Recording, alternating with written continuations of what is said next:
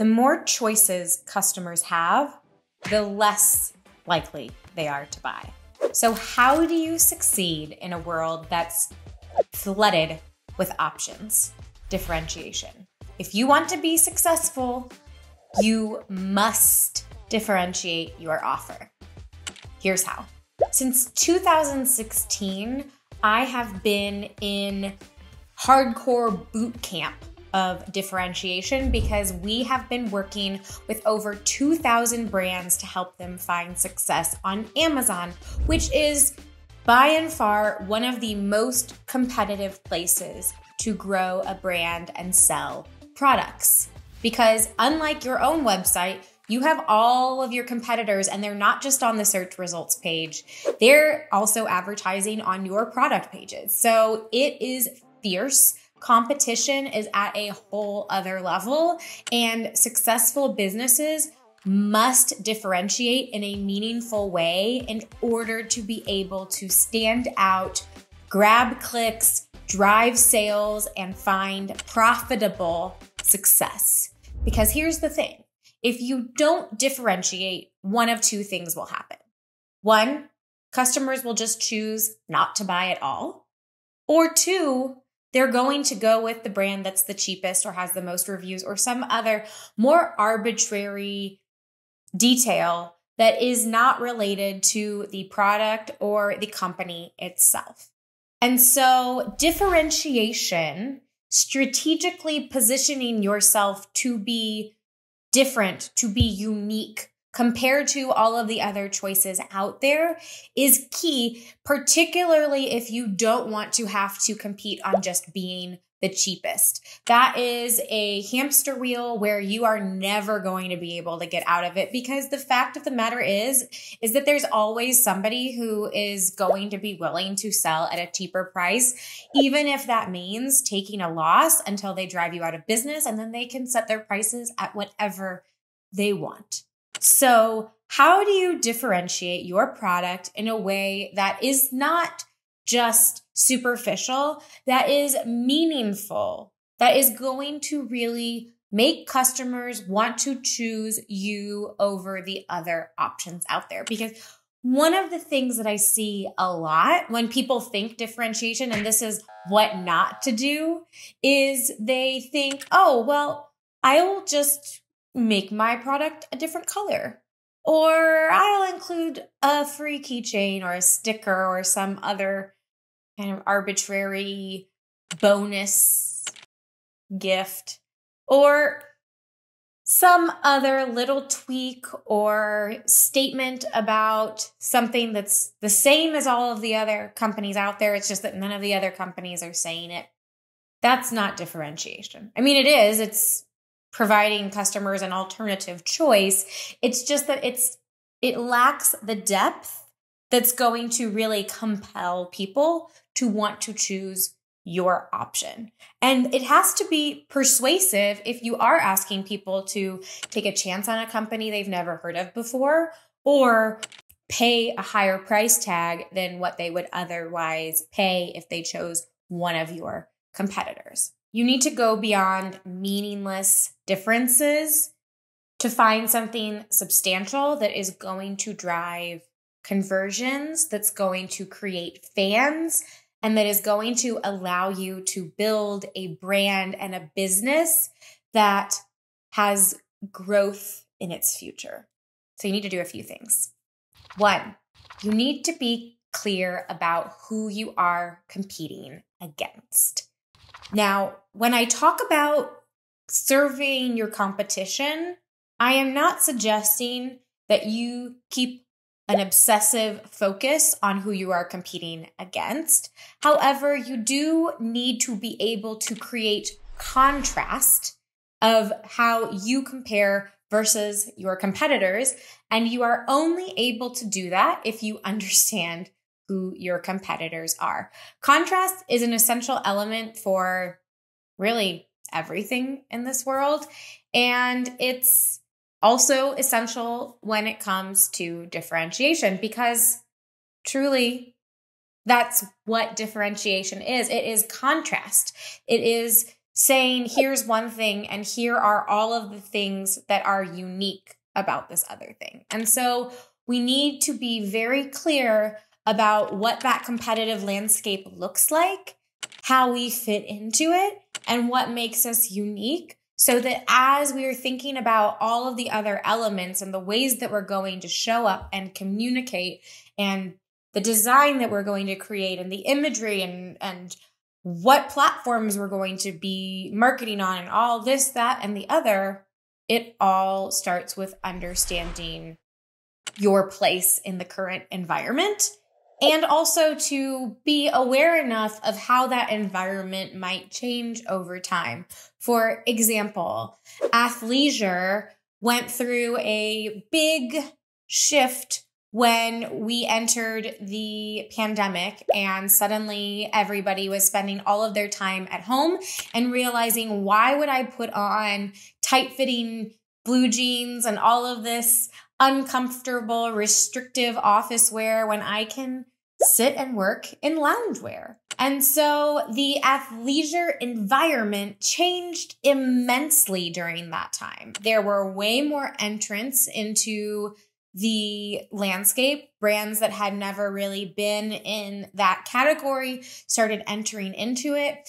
And that shaped how businesses needed to position themselves if they were going to continue to drive sales.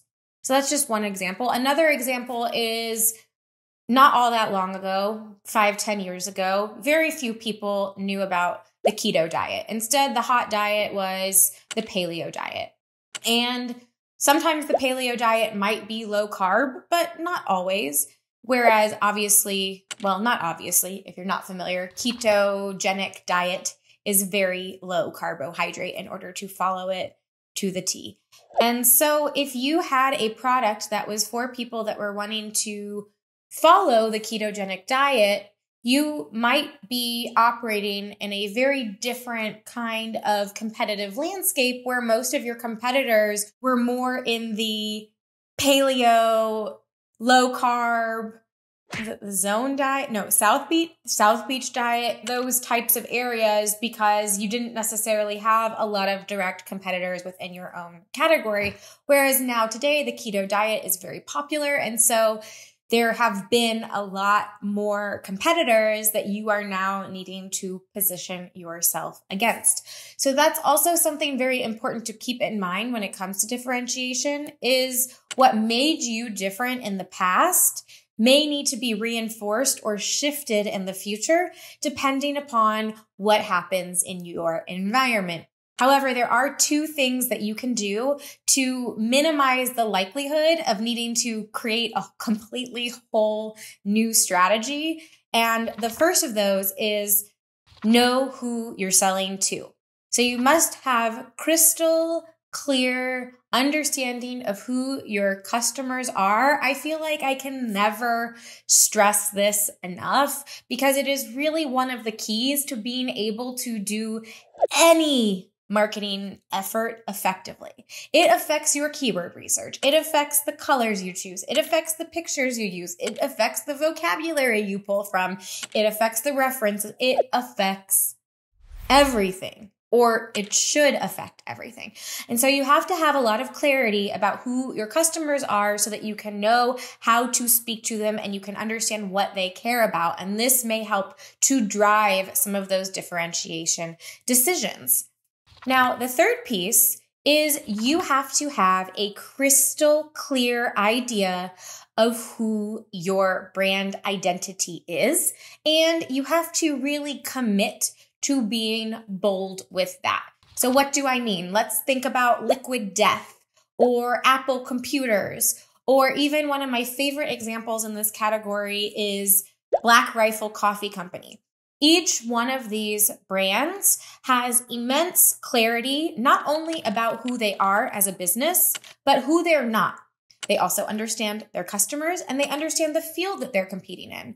And when they put all of those ingredients together, they're able to communicate in a way where their message spreads and where people are oftentimes all of I think all of those examples that I gave are examples of businesses that are by no means the cheapest option out there. They are actually commanding a more premium price tag and they're able to do that because they have figured out this differentiation piece so effectively. If you are simply copying what your competitors are doing, that is one of the easiest, quickest ways to fall into obscurity.